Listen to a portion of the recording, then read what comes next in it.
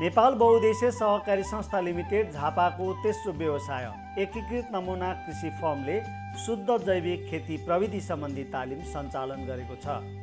गत भदौ एक्काइस र बाइस गते कृषि फर्ममा आयोजित तालिमको सहजीकरण अर्ग्यानिक अभियन्ता भीम कुँवरले गर्नुभएको थियो। प्रयोगात्मक अभ्याससहितको उक्त तालिममा कृषि प्राविधिक पशु प्राविधिक कृषि विषयमा अध्ययनरत ओजेटीका विद्यार्थीहरू एवं कृषि फर्म आसपासका एनएमसी सदस्यहरूको सहभागिता थियो।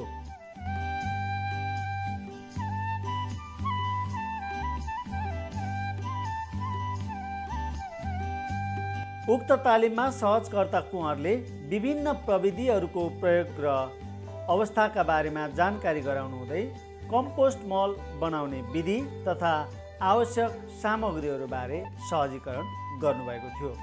सहजीकरणका क्रममा उहाँले भन्नुभयो। माटोमा छ वनस्पतिमा छ जम्मै कुरामा यो बसेको छ प्याथोजेन फङ्गस।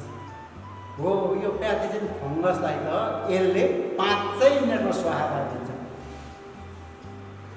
तपाईँ काँचो गोबर वस्तुको काँचो गोबर चाहिँ नि उठाउनुहोस् अनि यो डिकम्पोजर हालेर चाहिँ मल्नुहोस् अब त्यसमा बिउ छर्न थाल्नुहोस् मजाले चाहिँ नि बिउ हुनुहुन्छ।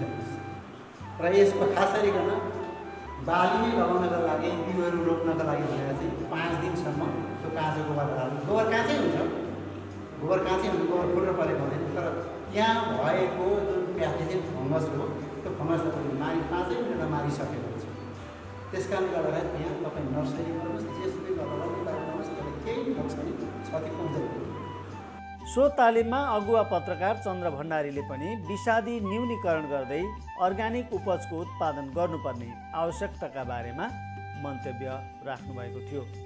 एकीकृत नमुना कृषि फर्मका संयोजक केशव प्रसाद पोखरेलको अध्यक्षतामा व्यवसाय प्रमुख भूपाल गौतमले तालिम कार्यक्रमको सञ्चालन गर्नुभएको थियो।